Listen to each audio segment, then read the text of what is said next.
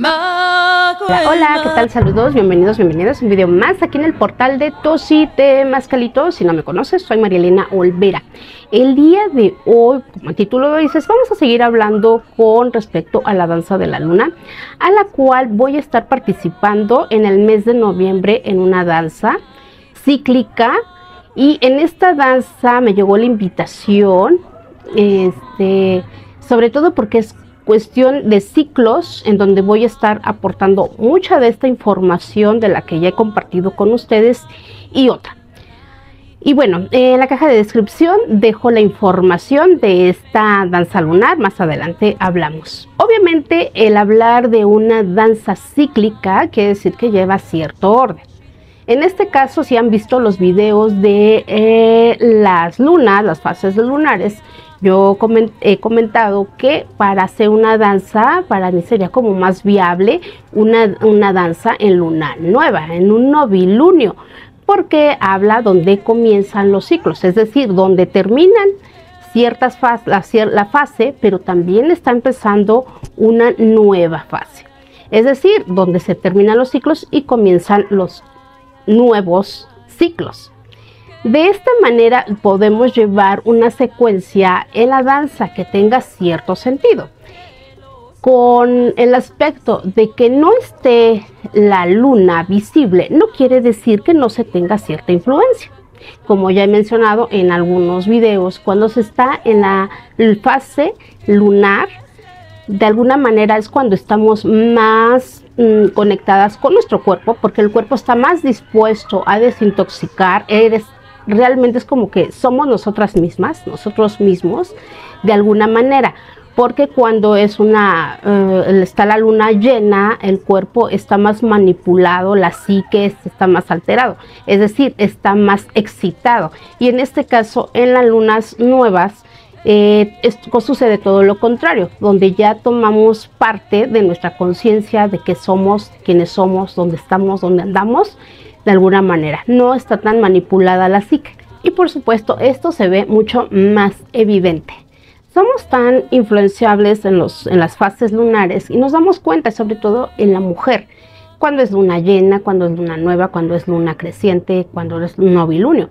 Nos vamos a dar cuenta y sobre todo en nuestro rostro es mucho más evidente. En una luna llena digamos, la mujer anda mucho más excitada, mucho más dinámica, pero sucede algo que no hay, no hay concentración. No, te, no puedes aprenderte nada, no, no, no, no hay ese poder de retención de información. Es mucho más este, intro, extrovertida de alguna manera. Sin embargo, en la luna nueva, cuando es cuando andamos de alguna manera eh, el cuerpo está más dispuesto a eliminar, el cuerpo se siente mucho más relajado. Pero también se va a ver en las lunas internas, es decir, una mujer que anda en sus periodos de luna, en, esa, en ese momento es mucho más energía. Pero esa energía a lo mejor está mal focalizada y por eso nos dicen que andamos todas este, de alguna manera alteradas o anda en sus días es decir, es, no se tolera a sí misma. Eh, en esa fase la cara se ve, se nos llega a ver como más acabadas, más desganadas, no hay concentración, es porque hay que ir hacia adentro en esa área. Y yo lo he visto con los videos, hay veces que sí me veo bien vivaracha y hay veces que digo, ay, hola, ¿qué tal? ¿Cómo están? A eso me refiero, no somos, somos tan fluctuantes, ¿por qué? Porque las fases lunares afectan no solamente en los 28 días, como ya he mencionado, sino todo un día vamos a estar fluctuando dependiendo eh, la situación y dependiendo también cómo esté la, parte biológica de cada una persona, porque partes numerales también eso influye de eh, los biorritmos internos definitivamente. Y bien, todo ese aspecto sublunar de la luna que gobierna los ciclos, agricultura, cosechas, eh, la parte biológica de las mujeres y de los hombres, por supuesto, es claro que también dentro de nuestra psique, de las cuestiones de aguas internas, eh, al momento de que la luna empieza a manipular, nosotras de alguna manera también somos muy manipulables o empezamos a manipular a nuestro entorno según nuestras conveniencias. Eso se va a deber por estas influencias lunares para lograr nuestros objetivos de alguna manera, este, este, pues sí, de alguna manera para obtener lo que se requiere, ¿no? Esos objetivos tétricos. Y por supuesto, las fases lunares. y en cuestión de la mujer, está gobernando la psique. Por eso Koyushauki tiene una figura femenina, es una mujer que está representando los ciclos, pero por supuesto también las cuestiones, digamos, lumínicas, pero también las cuestiones de sombra en el autosaboteo, por ejemplo, el compararse con otra persona, el no ser suficientemente buena. Es como la voz interna que te dice, ay, no, vas a poner un cierto negocio y la voz, sí, tú adelante, no sé qué tanto. Y de repente viene ese autosaboteo, ah, pero quién sabe si venga gente, quién sabe si se venda, quién sabe. O sea, ese saboteo es una guerra florida una guerra florida constante. Hasta que no se escucha uno, realmente lo que está uno diciendo se va a hacer realidad, pero normalmente uno no se da cuenta porque es tan sublime su energía de autosaboteo que eh, se ignora. Se ignora toda esa información que te va llegando de la parte sublunar, de esa influencia por eh, patrones ya de crecimiento limitantes. Pero si ahora lo llevamos a una danza, donde ya está todo el protocolo de una danza en la noche, ya te reuniste, ya tienes todo, ¿qué va a suceder ahí? Por supuesto, ese autosaboteo también va a estar presente. Es decir, va a empezar eh, la mente, van a empezar imágenes, van a empezar sentimientos, eh, pensamientos y un diálogo de alguna manera externa, en donde se dice, bueno, ¿qué fregado estoy haciendo aquí? ¿Crees que sirva de algo? ¿Estaré perdiendo mi tiempo? Mm, ¿Me robarán energía? O, peor de los casos, ¿no? Debería de estar durmiendo en mi casa, bañadita, eh, sin sufrir, sin nada de eso. O sea, nada de eso. Todo, todo esos autosaboteo empiezan. También es como, ¿será verdad todo esto que dicen que se soluciona la vida? ¿Qué es un rezo? ¿Para qué la danza? O sea, hay muchas personas que llegan nuevas a las danzas y hay otras mujeres que no les dicen, bueno, pues si ya estás en las danzas porque deberías de saberlo. O sea, yo no tengo que explicar nada. Hay otras que sí te orientan, pero hay otras que te dicen, no, pues ya estás aquí, pues ya, no, definitivamente. ¿Esto qué quiere decir? Que de alguna manera uno va a a las danzas eh, a ojos cerrados, definitivamente, que no saben a qué van. Hay otras que sí, que saben que van a danzar, que van a hacer su rezo, precisamente para lograr o equilibrar algún objetivo de su vida. Sin embargo, aquí como que hay que aclarar algunas cosas. Cuando vas a hacer una danza, es como vas a mover los cuatro movimientos, tu Nawi Olin interno. Es decir, esas, esas este, pensamientos con imágenes y sentimientos tienen una razón que se tienen que dominar. Es decir, el 26% que representa Cihuatlampa, el lugar de las mujeres, ese lugar está hablando del aspecto químico, es decir, el, la mente. al momento de pensar, se actúa una imagen y se va a la parte química, es decir, se va a lo que nunca se separa, que es el 13%, que son las emociones. La emoción ahí está. Si ya está en incongruencia la emoción de Huitzilopochtli con Cihuatlampa, automáticamente va a generar un caos. Van de la mano. Y por supuesto, ese 13% va muy relacionado con el cuerpo físico, el 52%, la materia. Y por supuesto, ese 52% va de la mano también ya me fui al revés, pero bueno, eh, va de la mano con el 9% que es la divinidad. Muchos decimos, todos somos espirituales, sí, todos somos espirituales, pero hay que adentrarse a ese, esa, ese 9% que es lo excelente.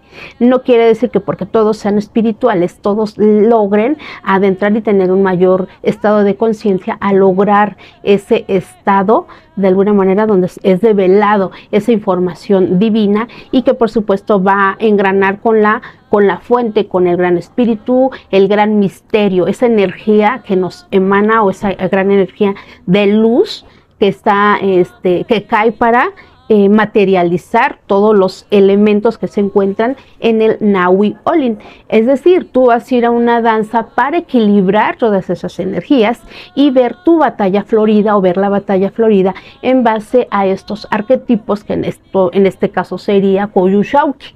Es decir, esta imagen es la que representa la batalla florida. Tú no vas a ir a danzar en el sentido de, ay, todo es amor, sí, todo es amor, pero ese amor también tiene que ser equilibrado.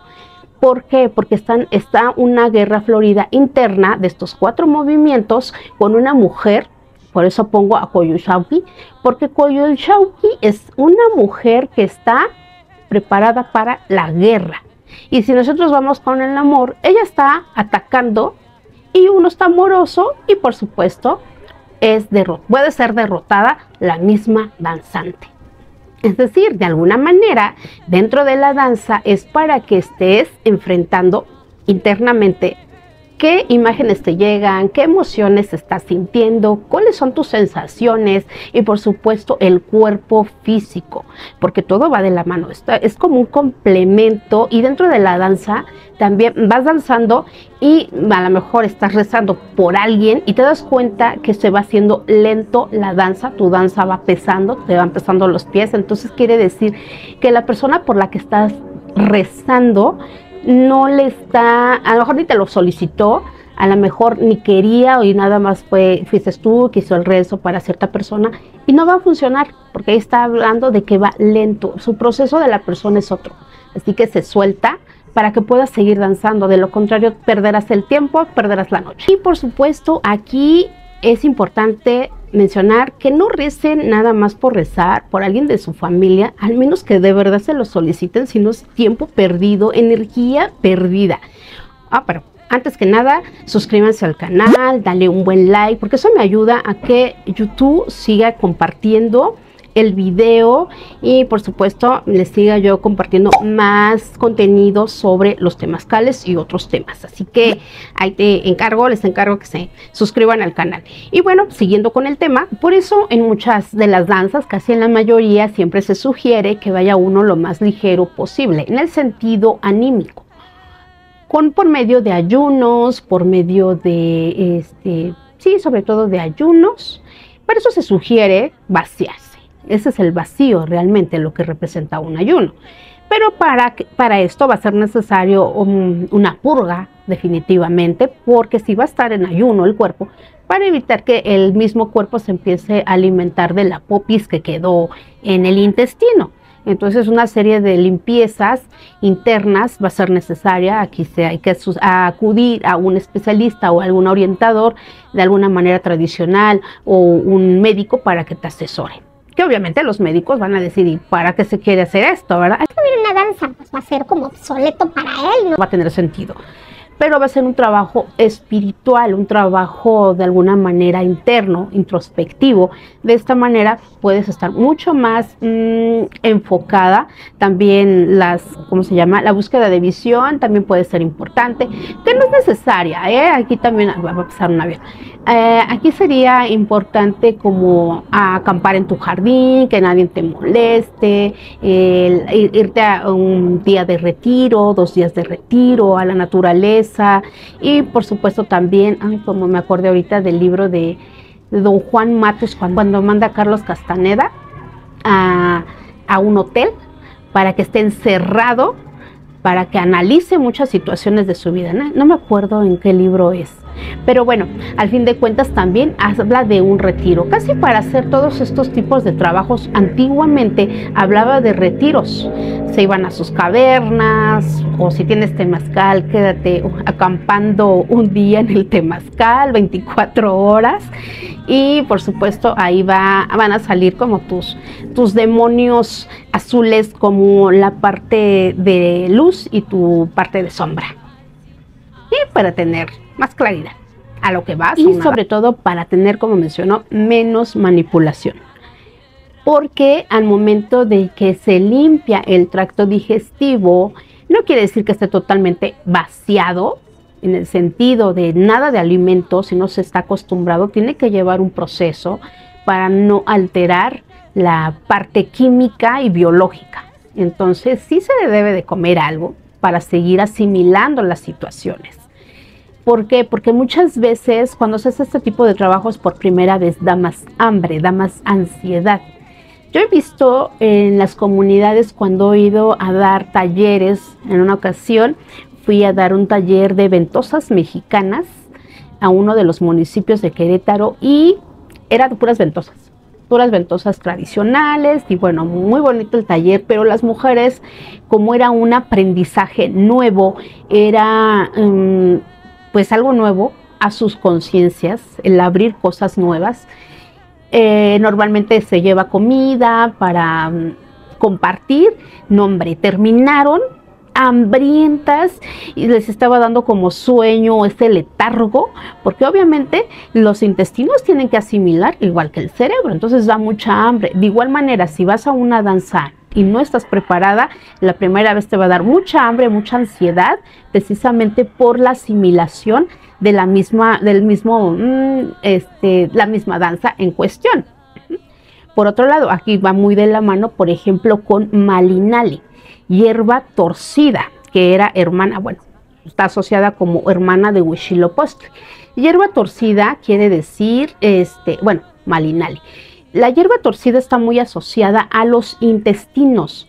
Está muy asociada, por ejemplo, Virgo también, yo las asocio mucho porque Virgo también habla de los intestinos y la forma que tiene Virgo es el intestino del lado, la asimilación. Todos los que son signo Virgo son personas muy analíticas y por supuesto Malinali también tiene esa frecuencia muy analíticas y muy enfocadas a cuestiones de salud, nutrición y demás y además de ser muy analíticas, donde se gobierna el intestino. Pues obviamente los intestinos hacen una función de absorción de los nutrientes, es decir, en el plexo solar eh, uno come una manzana y van los nutrientes, pero se empiezan a desdoblar hasta allá. O sea, ya hizo su función el estómago de quitar y deshacer, pero ya en esta parte de, este mm, plexo solar es donde se distribuye todo se empiezan a distribuir, ah, tú te vas para allá, tú vas para acá, vitamina, no sé qué tanto. Se empiezan a distribuir la energía, esa energía etérica, podríamos decir, para después ser asimilada y por supuesto después evacuada. Pero no solo asimila los alimentos, también las emociones, un coraje y ya se inflamó el intestino de la persona, ya está este, mala, ah, mala absorción que está teniendo por una mala asimilación en emociones, en enojos, en ansiedades, en traumas, miedos, todo va a empezar ese aspecto de eh, desequilibrar primero la parte biológica y posiblemente después la parte mental, emocional, de alguna manera que va a llegar a nuestro segundo cerebro, pues si aquí lo queremos decir, o una emoción intangible. Y por supuesto, Malinali, que era considerada como una divinidad lunar, si lo asociamos intestinos en la parte astrológica convencional que gobierna Virgo, son intestinos, pero va de la mano con signo cáncer, que es el estómago. Malinali acá gobierna prácticamente estómago e intestinos, es decir, la parte lunar. ¿Y que se dice en la mitología? Eh, no sé si se ve. Ah, bueno. Y por supuesto que Malinali era considerada como una bruja y que por eso los antiguos mexicas la abandonaron, abandonaron su culto pero si era una conocedora de la luna, obviamente necesitaba la luna para hacer su magia, sus brujerías, eso es claro. Y bueno, toda esa magia lunar para que la lleves a la danza, tu danza, tu rezo, es muy importante que cuando eh, estés en la danza observes los campos mórficos del entorno, porque es un lenguaje que se evoca dentro de ese círculo. Es decir, es tanta su magia si tú, ustedes ponen atención te va a decir cómo va a estar la próxima danza, te va a decir quiénes están contigo, qué estás viendo enfrente de ti y que eso es un lenguaje, de alguna manera lo que llamamos campo mórfico de lo que se va a realizar en tu vida. Es decir, si tú solicitaste, como ya mencioné, por alguien más, obviamente esa persona no es necesario que reces por otros, no gastes tu energía, pásate a lo que tú necesitas realizar. Enfoca esos cuatro rezos, esos cuatro días en una sola mm, objetivo y Por supuesto, voy a estar en noviembre en Málaga, España, aportando información sobre este tema de los ciclos lunares. Gracias por la invitación, Orlando Villamizar, Vianey Martínez, Miriam Velasco, en la finca Cuatro Elementos. Aquí se está realizando, se, está, se va a realizar la danza en este hermoso lugar a la cual me llegó la invitación, agradezco de antemano y por supuesto aquí va a llevar un emblema. El emblema o el escudo que va a ser es Koyul Chauchi. ¿Por qué? Porque dentro de la cosmogonía de la misma danza es la mujer que te va a recordar que todo a cada minuto todo queda registrado. Así que en una guerra florida no puedes ir tan amorosa, porque es ir como muy dispersa. El amor te dispersa. En este caso es llegar, tener objetividad. Recuerda que es una mujer que va hacia la guerra y que cada momento te está recordando que necesitas poner atención a lo que dices, a lo que sientes, a lo que haces, así como el, calendario Shipowali. De igual manera queda todo registrado a lo mejor hacia externamente y con Koyoshauki internamente. Esa va a ser una danza, digamos, eh, cíclica porque va a empezar en un novilunio. En el novilunio va a iniciar esta mm, danza y como menciono, no porque no se vea, no quiere decir que no esté, simplemente siempre ha brillado y las, las danzantes se opacan. Ahora es la luna no brilla para que las danzantes brillen. Por ejemplo, hay danzas donde tú puedes ir pintada y es tu parte femenina para que brilles. Hay otras danzas que gobiernan más la parte masculina de, de la luna, de la luna llena, y les impiden que no se pinten, que no se pongan brillitos en la cara. ¿Por qué? Porque genera la parte masculinidad.